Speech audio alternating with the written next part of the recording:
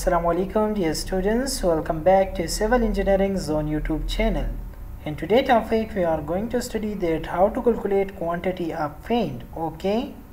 So dear students let's suppose we have a wall. The total length of the wall is 40 feet and total height of the wall is 20 feet. And dear students if we are interested to calculate total quantity of paint for this wall so dear students First of all, it is important to understand some basic concept related to paint gallon.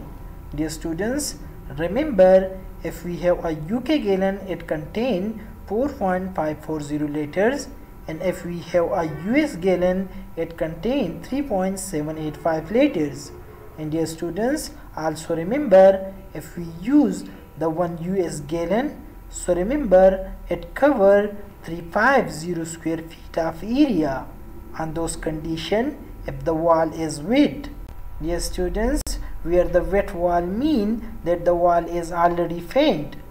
So dear students if we want to calculate total quantity of paint for this wet wall so first of all we calculate total surface area of this wall. Dear students if we multiply total length of the wall with the total height of the wall so we can get the total surface area of this wall now dear students as we know that the one US gallon can cover 350 square feet of area. So dear students if we want to calculate total quantity of paint so if we divide this total surface area of wall by the total surface area which is covered by one US gallon so from here we can get the total quantity of paint in term of US gallon. So now dear students if you want to convert this US gallon into liter so remember one US gallon having 3.785 liters.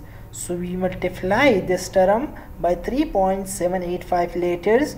So we can get the total quantity of paint in term of liters. And dear students also remember if the wall is dry and we want to calculate total quantity of paint so remember 1 US gallon can cover 200 square feet of area.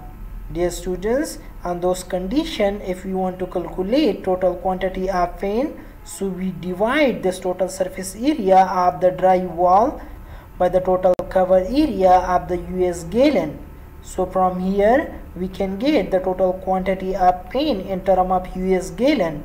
And similarly if you want to convert this gallon into liters so remember 1 US gallon contain 3.785 liters.